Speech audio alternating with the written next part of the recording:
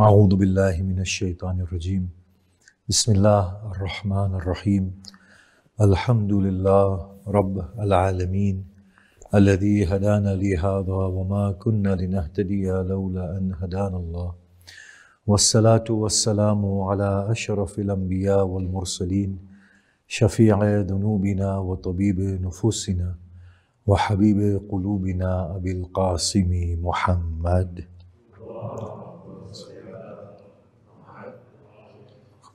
وآله الطيبين الطاهرين المعصومين المظلومين وأصحابه المنتجبين ومن تبعهم بإحسان إلى قيام يوم الدين. بسم الله الرحمن الرحيم. رب اشرح لي صدري ويسر لي أمري واحلل عقدة من لساني يفقه قولي. أما بعد السلام عليكم جميعا ورحمة الله وبركاته. أعظم الله أجورنا وأجوركم بمسابنا بأبي عبد الله الحسين عليه الصلاة والسلام Picking up from where we left off yesterday in the case of Wilaya Takwiniya, the full ability of the Blessed Prophet and his family to intervene in matters of existence, to mold existence and to make it obey to them at will.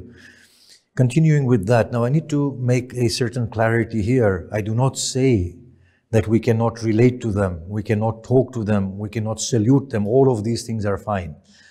All my concern is those attributes of God being unrestrictedly attributed to the prophets, or in particular the final prophet and his family, are unwarranted and it has knock on effect in removing us from God centricity. And as we shall discuss either today or tomorrow, the practices that are initiated in place of the God centric practice that the Prophet and his family gave to us. Now, if we look at Saduq, the great sheikh of ours in his Amali, he quotes a hadith from the Imam and he says, It is for our sake that God has created everything. It is for our sake that the rains descend upon the earth. We are the connectors that connect God with the earth or the light of God, the munificence of God, the beauty of God, existential power of God reaches from God to the earth through us. Had it not been for us, the earth would have swallowed up its inhabitants. So, in that case, if we analyze this hadith, everything is indebted to the Blessed Prophet and his family. And from here we get hadith kisa, for example, the sentiment that had it not been for Fatima, her father, her husband, her children, I would not have created the seven heavens or the earth or the seas or the rivers or the sailing ships, so on and so forth. Now, Kulaini again brings in this sort of a hadith. And Kulaini says that in addition to all of this, God made these people witness the creation as He created the creation. Now, when we look at the Quran, the Quran is adamant. God says, "Ma ashhadtukum khalqa anfusihim." I did not make them witness the creation of their own selves, and I did not make them witness the creation of the heavens and the earth. So we see here, by contrasting against the Quran, that something is not sitting well at all. Then we come to our grand ulama. Sayyid Khomeini, he agrees to this hadith that they were lights sitting at the foot of the throne of God at the very beginning. Sayyid al-Khuy also agrees that they have wilaya takwiniya. It is for their sake the whole of the creation has been created. The initiation of humankind is through them and to the effect that they can command and prohibit something that we will come to afterwards. Now, when we look at the Quran, at times the Quran explicitly rejects any potency to other than Allah subhanahu wa ta'ala. And whenever the Quran does give any type of discretion to other than God, it makes sure that it reverts it back to Allah subhanahu wa ta'ala in one way or another. So the potency given to the angelic beings and the sort of functions that they perform, Allah will, from time to time, drive it back to Himself. So when you look at the Quran, it's a message of unity of God, not only in its creative aspect, that God is the only creator, but also in terms of devotion owed to God for creation and for any impact within existence. God is extremely, extremely adamant, although these higher entities are admitted to in the Quran. I don't say they are not. These higher beings are admitted to in the Quran. There are ambiguous references in the Quran. And if Allah wants, in the next few years, now in the future, we will maybe come of age and talk about these things if Allah so desires, wills, and gives us His consent. But for now, if we look at the Quran, either it is totally denying any worth to other than God, or it is admitting to the creative force of other than God, the potency of other than God, but it is very adamant to revert it back to God at every point that it is only God. You are supposed to see only Allah subhanahu wa ta'ala. When we look at the Blessed Prophet, the Blessed Prophet he says, لا أملك لنفسي نفعا ولا ضرا. I do not possess for myself any gain or any loss. Now, isn't that striking? We can say, okay, oh Prophet, did you exist prior to this point? Now, the Prophet might say, I don't know. Or the Prophet might say, yes, I did. But the one thing Prophet is telling you that what I am supposed to say to you and what you are supposed to understand is what is listed within the Quran. No more and no less. So then the Quran says to the Blessed Prophet, now think about this, contrast this with the idea that the Prophet was a light at the foot of the throne. Together with, so Kulayni's hadith says that Allah created Muhammad Rasulullah, Imam Ali, and Bibi Fatima Salamullah alayhim ajma'in first and foremost and he made them witness the entirety of existence. This is what is said in uh, said by Kulayni. Now, if that is the case, if that is the case, then why is the Quran saying to the Prophet, نحن نقص عليك أحسن القصص بما أوحينا إليك هذا القرآن وإن كنت من قبله لمن الغافلين We narrate to you the best of stories through the revelation of this Quran, O Muhammad, even though you were unaware of it all prior to it. Now, surely there is a certain amount of inconsistency between this. Who is Nahnu? Who is this we? Obviously, Allah is attributing Nahnu to Himself. And if it is another agency other than God, as I said, in the next few years we will resolve this. God is still adamant that it is He Himself, as we, the royal type of we in the Quran. So surely this we, whatever it is, is a posterior existence to the light of Muhammad Rasulullah. Whoever this we is, if it is other than God, yes? If this we that is other than God is after the creation of the Prophet, because the Prophet was the very first creation, according to this hadith. So this we, if it is other than God, is saying, we reveal unto you the Quran, even though you were unaware of it prior to this day. Now, if this we is Allah subhanahu wa ta'ala Himself, then in that case, Allah created the Prophet Muhammad first, and after that, presumably, He created Yusuf, yes, Yaqub, Ibrahim, and in the surah Yusuf, Yusuf who comes after Prophet Muhammad, how does Allah say to Prophet Muhammad, you were unaware of the story of Joseph prior to us revealing it onto you? So we can see here that this then brings it so much inconsistency. Now we say, no, the Prophet Muhammad didn't remember all this pre-worldly, mystical life of his. So we say, well, how can by priority, other than the Prophet remember it? Are you saying that somebody else's caliber is more finer than the caliber of the Prophet Muhammad? Then we come into another theological inconsistency. On the one hand, Prophet Muhammad is the best of creatures. Imam Sadiq always humbles himself in front of Imam Ali. And Imam Ali says, I am a mere servant and a slave of Prophet Muhammad. I have learned everything that I know from Prophet Muhammad. So the Prophet Muhammad says, I don't know. I don't even know what will be done to me. I am being led by the revelation, right? I don't know the unseen. I can't bring any good to myself. I can't dispel any evil from myself. But Prophet Muhammad's grandson Imam Sadiq says, we, he was created as a light at the foot of the throne before anything else was created. How did Imam Sadiq access knowledge that his grandfather, who is creme de la creme, could not access? You can see the inconsistencies here. And then, if these divine lights were at the foot of the throne, according to some traditions, and according to the admission of Ayatollah Khoei, all the lights of the Imams were there. So then why didn't Imam Sadiq know who the Imam was after him? When he said that I thought Ismail was going to be the Imam. God had a sudden change in his destiny. And now Kazim, uh, sorry, Imam Musa Kazim will be the Imam. How did he make that statement if he was already there and if he knew the other lights? Obviously, if the 12 lights were there, in addition to the Prophet and Bibi Fatima, then these lights know each other. So how did Imam Sadiq not know the light? Now here we have to go into another series of convoluted explanations that maybe the light then appears in any form. And Imam Sadiq thought it was one form and it came in another form. Then you admit that he doesn't know everything then. Either admit this or that. Wherever we go, we get caught out. Can you see this?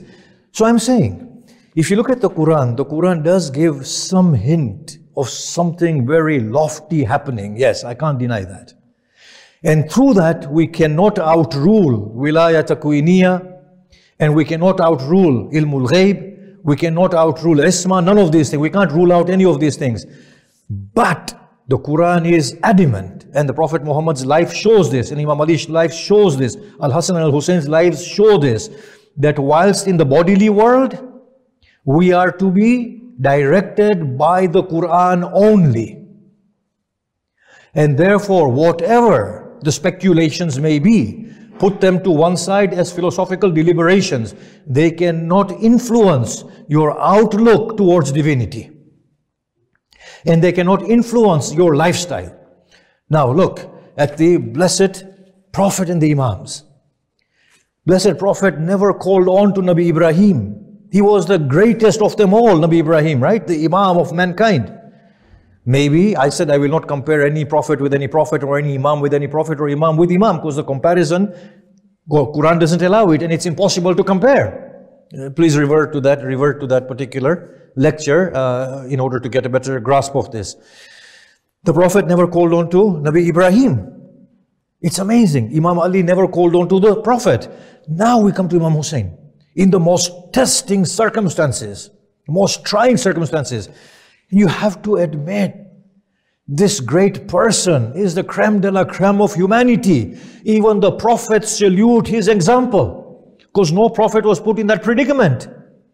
And the way he fares through that predicament and the way he grows at any given point in Imam Hussein's struggles on the day of Ashura, tribulations that befall him, do we see him turning to anybody other than Allah? And look at how his human gem is refined on that day, that you can say that divinity radiates from his face towards his last breaths. And I know what I'm saying, that when I say divinity radiates, I know what I'm saying, and inshallah we'll explain this. Uh, hopefully tomorrow, day after tomorrow. But did he ever call onto any other entity but God? Their lives were extremely God-centric. They were centered with God. And through God, they arrived at the fullness of their divine light that was vested within them. So I do not deny the possibility of these, all, all these things. But the interesting thing is that you go to any major religion, all of us have the same issue. We want to attribute this divinity to creatures other than God.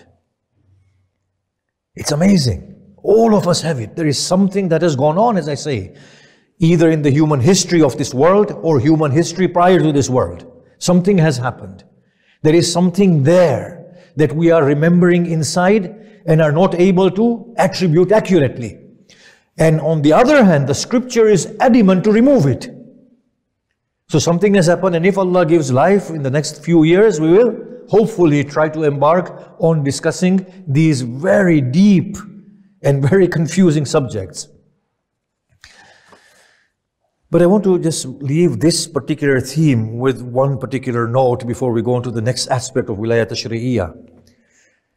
I've said this on several occasions, that there is no difference between a Hindu, a Jew, a Christian, and a Muslim, a Sunni, or a Shia. There is no difference in a Sikh. There is no difference in essence. All of us are doing the same thing, but we are not understanding that we're doing the same thing. It's amazing. So I venerate my holy personalities for what?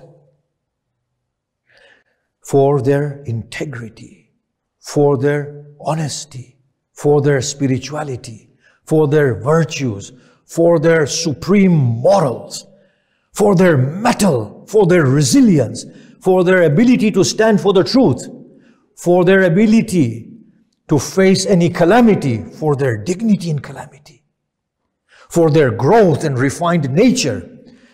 I revere Hussein ibn Ali salamullah alayhi for these qualities. Oh Christian, why do you revere Isa? He will say, for the same qualities for which you revere Hussein. Ah, but the face is different. He says, but the qualities are the same. Ask a Hindu, why do you revere your avatars of God? Because they had the same qualities as your Muhammad and Hussein and their Isa had. I said, ask the Jew, why do you revere Moses? For the same qualities that the Christians revere Jesus for. And the Muslims revere Muhammad for. Sallallahu Alaihi Wasallam. It's amazing. You go anywhere, go to the Sikhs, go anywhere. We are all revering the same truth that is deep within ourselves that we wish to project in one that is outside of us that holds that truth in its entirety and to which I am trying to get to. That truth is potential inside me. It's tarnished. It's weak. But I see a face that is reflecting my beauty so fully in his own character. And therefore I look upon that person. Are you seeing what's happening? We are all after the same thing. We are all after the same thing. All we are doing is we are putting different faces to the same truth. It's the same godly light within us that is bubbling and wanting to come out. We don't know how to bring it out, so we attach it to the one that we love, and through them we grow. And that's the whole thing about a role model. That he is an example for you, for you to ignite that light inside you and to bring it to its glorious culmination. It's the same story going on and on and on. Can you see that? If this example holds true in this instance, then subhanallah, something very profound comes through. That we as human beings are not these little bodies that we associate ourselves with, nor these little eating, eating and drinking creatures and, you know, quarreling and fighting petty little beings. We are divine. We are divine lights. And we have all those potencies. We have wilayat takwiniya in our hands. We have ilmul ghayb in our hands. We have isma for us to take. But it is so dimmed down and so tarnished that we look at our beautiful heroes and through them we want to arrive at that pedestal of godliness and glory. That seems to be the final analysis. But there is one there's a caveat here. God says, but give it all to me. Surrender to me. Totally efface yourself in me so that when you go, your limitations are breaking and my fullness will emerge. I'll revert to that Hadith Qudsi before we close this one and go on to the next one. And I know Mufassirin will say, uh, Muhaddithin will say this is not authentic Hadith anyway. Will, the Hadith says, be obedient to me, I can make you so that I make you my own like. The thing is that this is not far-fetched because the angels were told, when I breathe into him of my spirit, we have that godliness residing in here. Can you see that? And that's why our minds are confused. There is something lofty we are after, but we've become totally confused and we conflate things. Now we come to the issue of Wilayat Tashri'iyah because it's very important. We conclude this today so we can embark on the concluding, concluding talks tomorrow and day after. so Wilayat Tashri'iyah, according to the aforementioned hadith of Kulayni, he finishes with this particular sentence that Muhammad and Ali Muhammad will command whatever they want, they will make halal whatever they want, and they will make haram whatever they want. Now, if you have this notion that the Prophet and his family are totally infallible, they can't make slightest of mistake, there's no error in judgment, leave aside sinning. major, minor, outer, inner. And the Quran says no, everyone was felt a sense of sin in, internally. Quran says everybody made mistakes. Quran said all the prophets, not all, but those that we cited, forgot. First and foremost, it's totally inconsistent with the Quran, this particular hadith. Now, if they were going to make halal and haram at will, and they have wilayat takwiniya, and they have ilmul ghaib, and they have isma, then is it any wonder that the religion has moved away from God? I just want us to pause here for a second. Do we read the Quran? Do we get guided by the Quran? The question, do we get guided by the Quran? It's a speech of God for us. Our origin, our destiny is inside there. How to be virtuous, how to be moral, how to be righteous, how to be just. Do we read the Quran? Think about it. Had we been reading the Quran, majority of these lectures would have stopped because the audience would have pointed out that this is inconsistent with the Quran, whatever you're saying. Most of these uh, ahadith would be rejected because the audience would say this is inconsistent with the Quran. Explain it. Is it any surprise that the mosques are downplayed and the Husainiya takes predominance when Hussein himself was committed to a mosque? Salamullah alayhi. Think about this. The dhikr of Allah that Allah says, Wadhkurullah dhikran kathira. Again and again, do remembrance of God. God, the dhikr has gone down but Marsiya Noha have perpetuated and increased year in, year out. Duas are being recited, but zikr and salah is being minimized. I'm saying with theologies like these, do you blame then the community for shifting from God altogether? The religion has become imam centric, but the poor imams, they were God centered. Which Imam taught this? This is a huge thing that we need to reflect upon and we need to think. The Quran has gone, the mosque has gone, Salah is on its way out, and dhikr has totally disappeared. All of those things that God commands in the Quran have all gone. All of those things that the Blessed Prophet was known for are non existent. When I went to Hajj in the uh, 80s the first time and then in the early 90s, I noticed one thing, seriously, it was not nice. I'm not having a dig. I was carrying my Mafatihul Jinan to the Kaaba. And for the duration of my stay in Hajj, I read from Mafatihul Jinan, I didn't pick up the Quran. Now you might say that's you. But then I noticed many other Hujjaj carrying Mafatihul Jinan. Can you see this? Then I noticed that whenever, it was time for Salah, we would leave and go back to the hotel. When the Muslim Ummah used to flock to Masjidul Haram, a few of us used to leave Masjidul Haram and go to the hotels. The Quran says, You are one body, one Ummah. Look at what has happened to us. Think about these things very, very carefully. Now, wilaya tashri'iyya.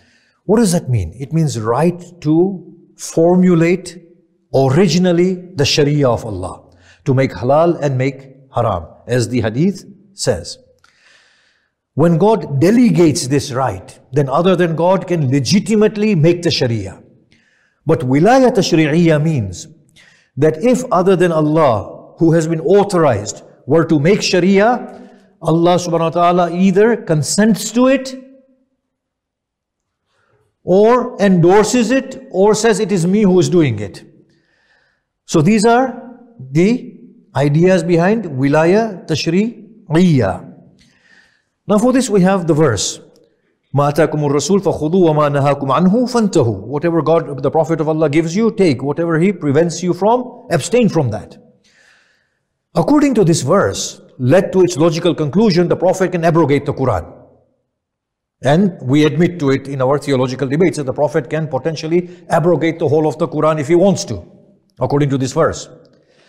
However, it's fully inconsistent with the golden principle. What's the golden principle? The golden principle is that the Prophet said, whatever is from me, check it against the Quran. If it goes against the Quran, reject it. So if the Prophet was given the authority to abrogate the Quran, then it goes against the Quran, so throw it away. So we are seeing that no, wait a minute, the Prophet cannot abrogate the Quran by his own golden principle. Are you seeing it? Then we have another verse. Man rasul faqad Allah. The one who is obedient to the Prophet is indeed obedient to Allah. So we will say from here what we can actually conclude is that the Prophet has the right to add on to Sharia in addition to the Sharia that God has given. The Sharia that God has given is within the Quran. Whatever is outside the Quran potentially is something that the Prophet is giving. Okay, fine. But it cannot conflict with the Quran. In other words, it cannot reduce the Sharia of the Quran. Because otherwise, it's conflicting with the Quran, and the golden principle states that that hadith is false. We've got it so far. Now, let us go quickly through the meaning of Sunnah. Sunnah is the tradition of the Prophet as opposed to the Quran. That's one utility of the, utility of the word Sunnah. The other utility of the word Sunnah is something that is not wajib, it's mustahab. The third utility of the Sunnah is something introduced by the Prophet as an obligatory act as, as opposed to the fard, the obligations that God has made. Now we have examples of this. Allah has only made two rakat namaz wajib. For subuh, dhuhr, asr, maghrib and isha. Allah has only made 10 rakats wajib. The Prophet added two upon dhuhr, two on asr, two on isha and one on maghrib. Allah subhanahu wa ta'ala endorsed it. This is sunnah which could be a point of tashri'ah and wilayah tashri'iyah. One of the reasons why we have this notion is that when you're on travel, the additions that the Prophet has made drop. And we are remaining only with the two rakats that Allah has made obligatory. That's one of the reasons given. Then again, we get this hadith that the salah will only be repeated if you falter with five things. What? Qibla, if you don't face the Qibla. If you forget, if you don't do the sajda, if you don't do the ruku, if you pray outside your time, and if you pray without tahara. Why these five? Because God has stipulated these five. If you get the kiraat wrong, you can remedy it. If you get the tashahud wrong, you can remedy it. Whatever the Prophet has given in addition can be remedied. But if you are attentive, then you have to pray it as wajib. Again, God prohibited wine. The Prophet extended it to every intoxicant. These are the arguments. Now, look at the law of zakat. The Quran only says zakat is wajib. The Prophet added the extents of the zakat. Now we ask here, when Prophet added all these things on, was it through inspiration of Jibrail? If it is if it was, then God is adding it himself. Can you see that? Then there's no meaning of tashri'. That's the first thing. Is the Prophet using his own discretion? In which case, the Prophet's impenetrative insight is so accurate that it is as God wants it. Have we got that so far?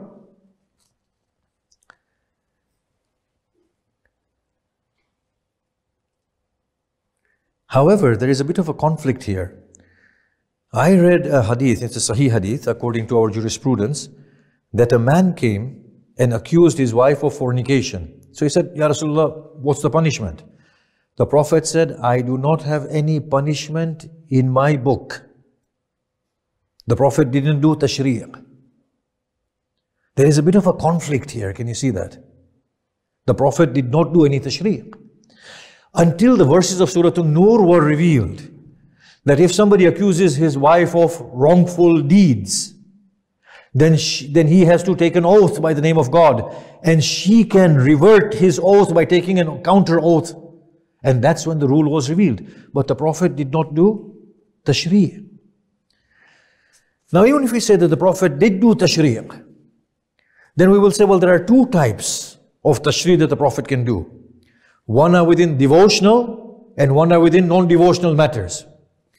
In non-devotional matters, when the Prophet does tashri', let us say the quantities of zakat, we will ask immediately, why was zakat stipulated in the first instance? And what was the rationale behind the Prophet giving those extents? Because it has to make sense. We can't follow a senseless law. So as soon as the Prophet explains to us the rationale behind that law and we have grasped the rationale, we will say it's no longer working and we can then reformulate it. Can you see that? So if the Prophet did do tashri', and even if it was led by Jibreel, we will say that, wait a minute, we can rethink this law. I just want to extend this issue further. Now come to the devotional acts that the Prophet is beholden to the Quran. And there is minimal tashri in there, like adding on the two rakat. Now here, what if the circumstances change? What if the night in a particular region stretches to 20 hours? Will we not then be able to use our minds and say, that the whole purpose of a fast was meaningful abstention that is productive and beneficial for the bodies. In a fast of four hours or two hours, there are no beneficial effects upon the body. So we need to increase the fast to a day's fast, conventional day's fast. So what are we doing here? Are we doing tashri'? No, we are doing ijtihad. If we were to say that the Prophet was doing ijtihad, then that opens the door meaningfully for us as well to conduct ijtihad. Can you see that? If we were to say that the Prophet was doing tashri', then even then we can open the door again by saying that the values that the Prophet intended were not, are not being secured. Now, when the Mahdi comes, the charge against the Mahdi will be that he is bringing a different religion. He has brought a different religion. Now I ask, was is the Mahdi going to be going to be doing tashri'? In which case Mahdi will say, I am giving you a fresh religion now, finish. So then the question will come, hold on, we thought Risala had come to an end.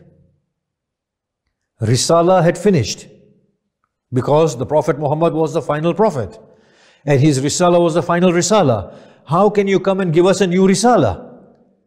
If you will do tashri', then that means that risala can never come to an end. On the other hand, the Mahdi, Salamullah can explain to us that no, in line with the values envisaged from the original tashri', I am reformulating it all for you. In which case, Mahdi is doing ijtihad. Can you see this? Mahdi is doing ijtihad. And therefore, that opens the door for us as well to rethink into things more accurately. That if the Mahdi can bring a formulation of the Sharia that is so different that the people will accuse him of bringing in a new affair and a new religion, then that means that something has gone wrong. The Sharia should never have stagnated in the first place. Everything should have been on the move. We have stagnated and the Mahdi will come and reformulate it all.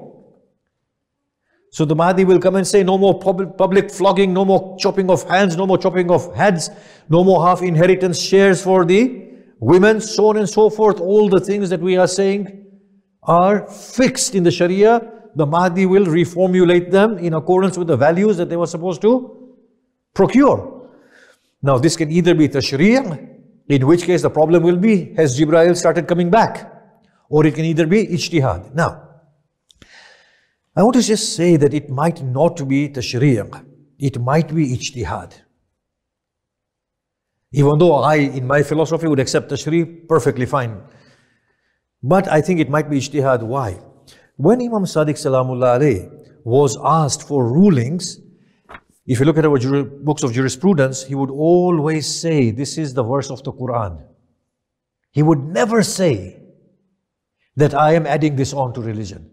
Because had he said that, the people around as-Sadiq would have said, what sort of a person are you and the grandson of the Prophet? You are supposed to follow the Prophet in the Quran. You're going against the Quran. Nobody accused him of that. They all said he is the most learned person in terms of the content of the Quran. Imam Sadiq never said anything that is inconsistent with the Quran or additional to the Quran. He would always revert to the law of the Quran. So when they asked him about fish, he said, Look, the Quran says all marine creatures are halal for you. Eat them all. He went back to the Quran. They would ask him about the slaughter of the meat and which meat was allowed to eat and not. He would refer them to the verse of the Quran. They would ask him about marriage with people of the book. He would revert them to the Quran. So we have never seen Imam Sadiq alayhi saying that move away from the Quran. And he would never say, I am adding on to the Quran. So we are seeing here that no, Imam Sadiq was doing ijtihad, but his ijtihad was insightful and accurate. Now we had a Sims gathering at the center of intra-Muslim relations, where we were discussing the Sahaba and their Sunnah, and the Ahlul Bayt and their Sunnah. Now the Shia presenter, please have a look, is a very renowned scholar of ours. He was talking about the Sharia, Muhammadiyah extending beyond the Prophet Muhammad. Why?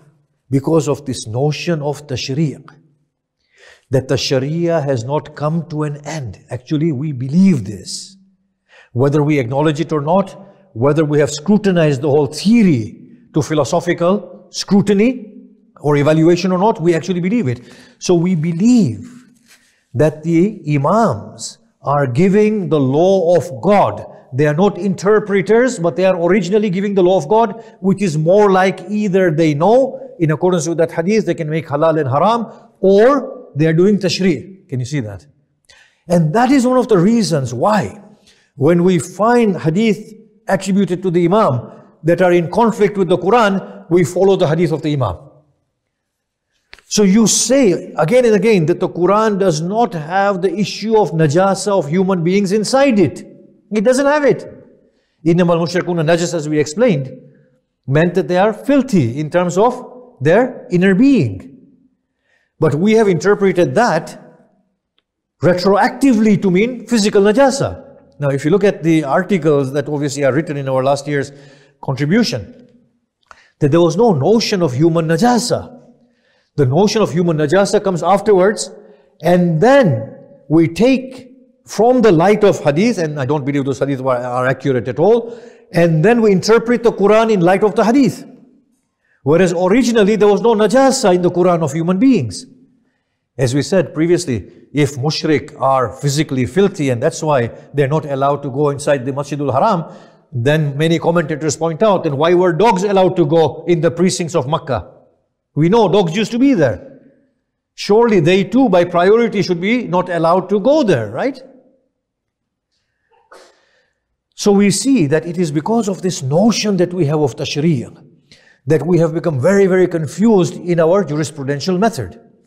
Now look at how our thinking has become confused.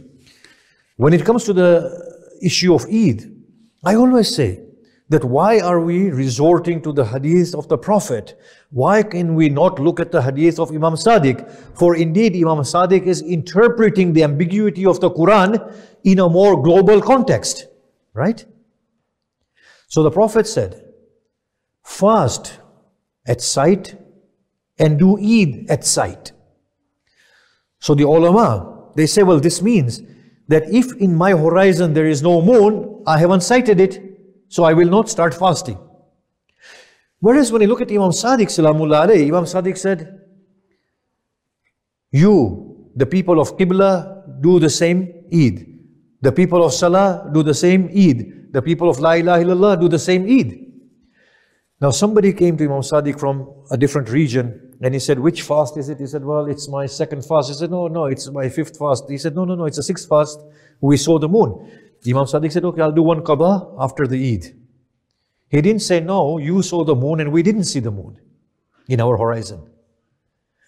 If this is the case, that the later Imam is doing tashri', then surely the later Imam's tashri should precede the previous, preceding, previous Imam's tashri, shouldn't it? Because it's the latest tashri. Are you seeing it?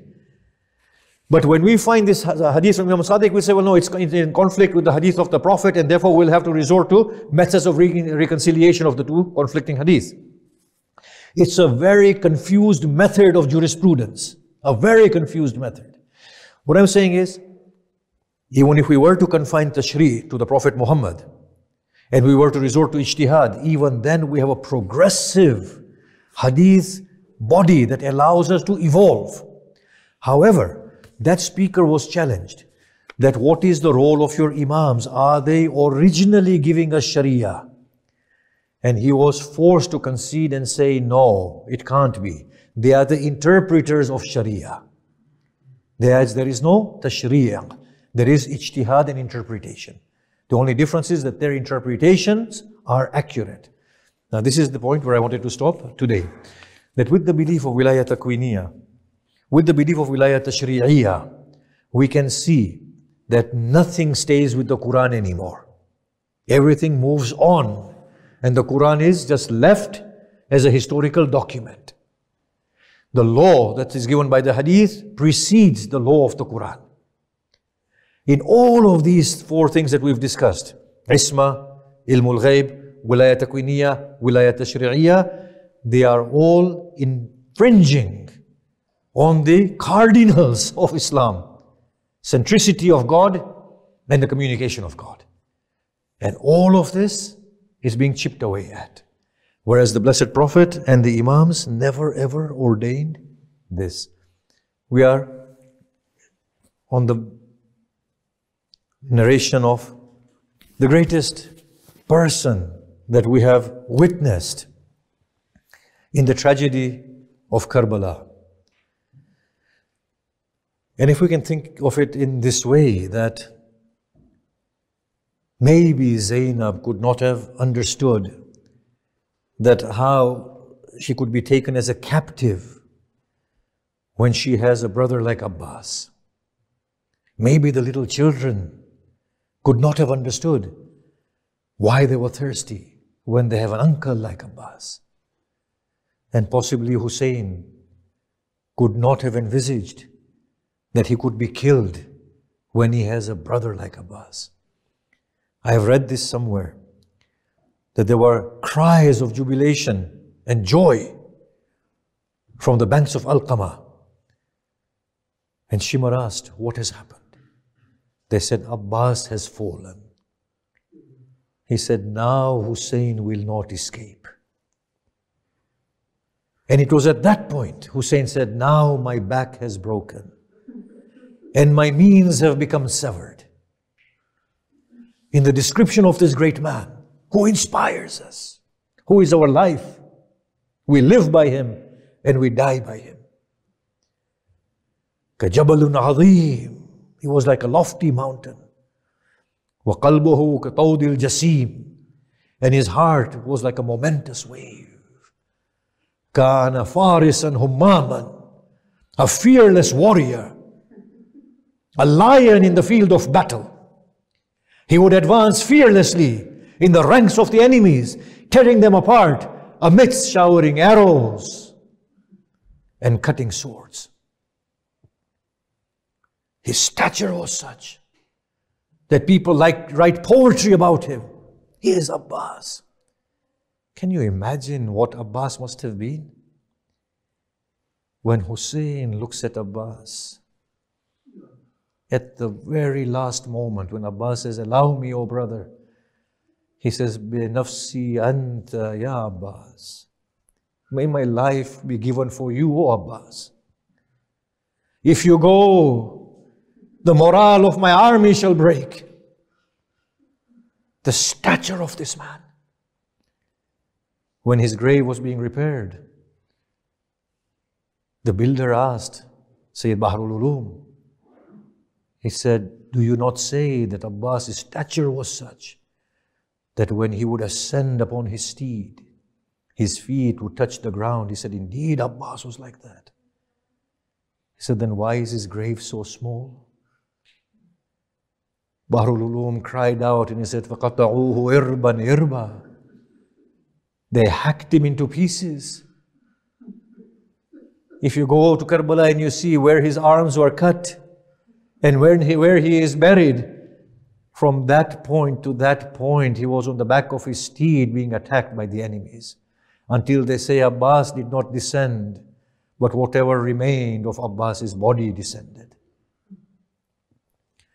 Look at how gallant this man is. Amongst many of his attributes is one in which he is known as Hamilul Liwa, the bearer of the standard. And imagine the strength in this man's arms and in his heart. It is said when the spoils of battle were being brought into the court of Yazid, he looked at all the standards. Then he saw a standard and he said, Whose standard is that? There is no place on that standard that has remained intact. It is only the place where the hand held it. They said it is a standard of Abbas. It did not fall until his arm was cut. He said, By God, Abbas, you refuse to surrender. This is our brother defends his brother. But look at the great strength of Abbas. Can you imagine? Hussein and the family of Hussein are reliant upon the strength of this lion of Hussein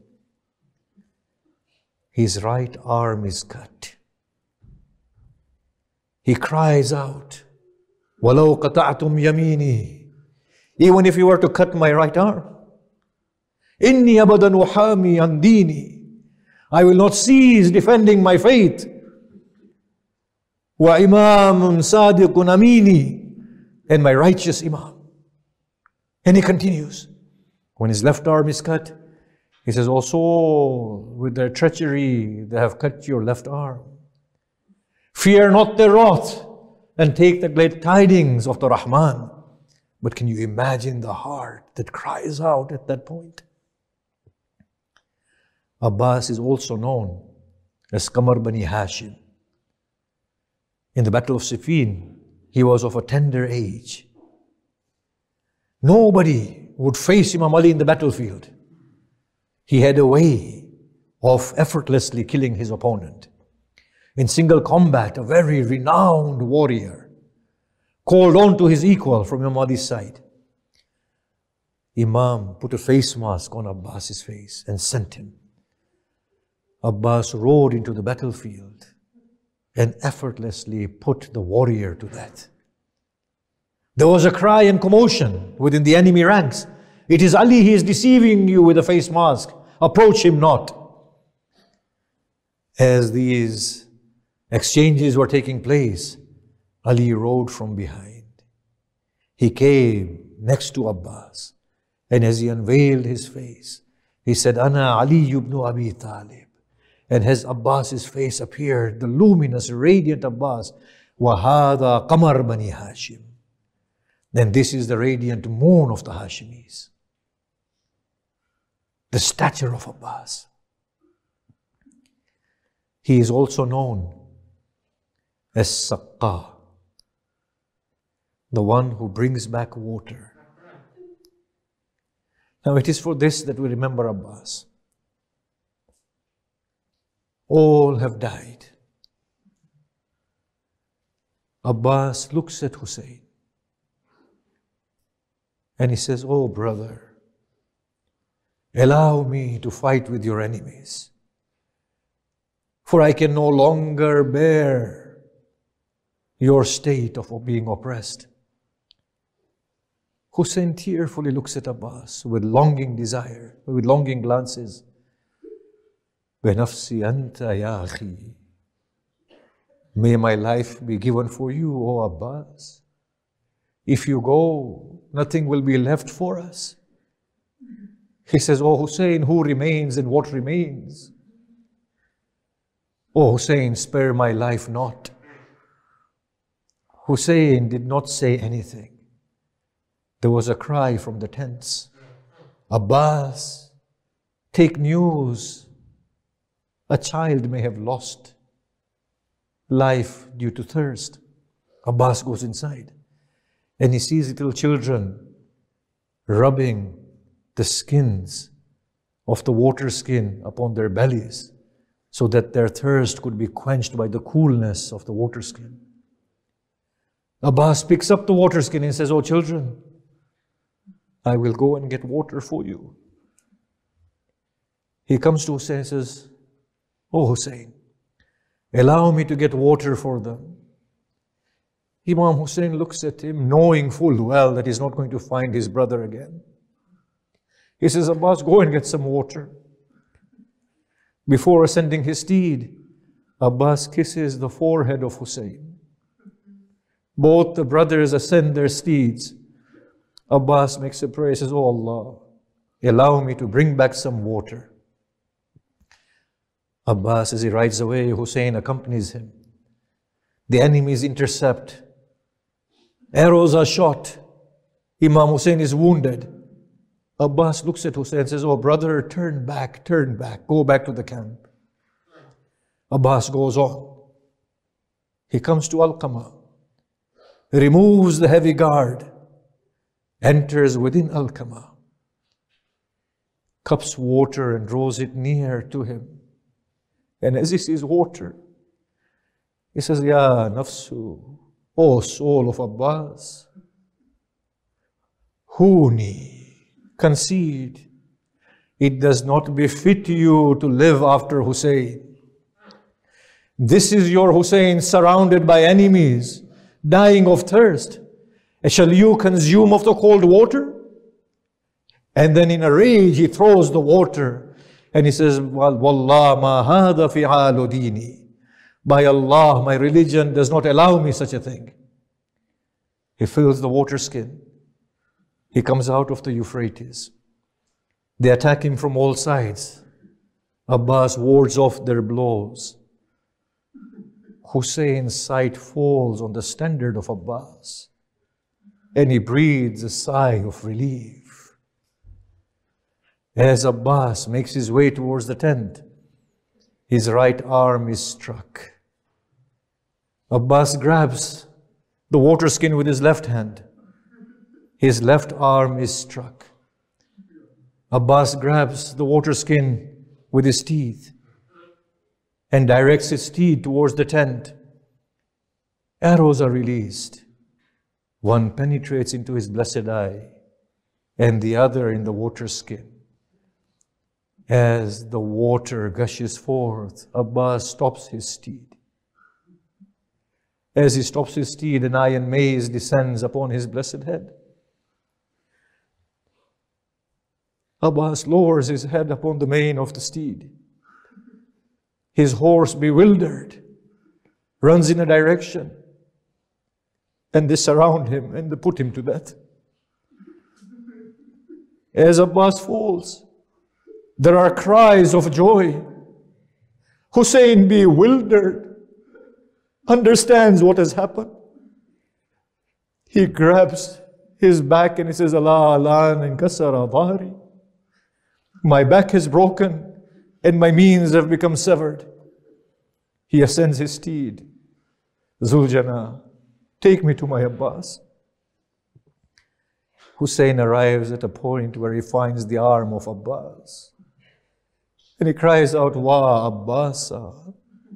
He descends his steed and he looks around for Abbas and sees him lying at a distance with a broken heart without resolve, he advances to Abbas. He lifts the head of Abbas and places it into his lap. Abbas tries to move his head away, and he is trying to say something. Hussein draws near, and Abbas says, Oh man, allow my brother to come to me first. He says, Oh Abbas, it is I, your Hussein. He said, Oh Hussein, I see you not. There was a wound in one eye and blood in the other. Imam Hussein lifts Abbas's head and clasps it against his chest and cries out aloud. As he cries, the enemies see the scene and begin to cry. He turns to them and he says, Oh, enemies of God, why do you cry now after taking away my Abbas from me? As Hussein is weeping, he sees Abbas weep. He says, Oh, Abbas, what brings grief to your heart? He said, Oh, Hussein, how should I not cry when I see you lifting my head from the dust and cleaning my face from wounds, and I know very soon these people will behead you on a burning thirst, and there'll be no one to carry your head. Hussein says, Oh, Abbas, do you have anything to say to me? He says, Oh, brother, do not take my body back with you. But I must, O Abbas. O Hussein, I had promised them water. I have failed them. If Zainab sees me in this state, her morale will break. Hussein tries to lift Abbas. Abbas says, Oh brother, let me be. He breathes his last. Hussein carries his standard, ascends his steed, arrives towards the tent. Little children come running out to receive Abbas. Sakina sees her father in a defeated state. She says, Oh, father, do you have any news of my uncle Abbas? He lies slain at the banks of Al-Qama. Zainab comes, she says, Oh, brother, why didn't you bring my brother back to me? He said, Oh, Zainab, he did not wish you to see him in this state. She cries out and beats her face and says, Wa Abbasa, wa qillat nasara. Matame Hussein.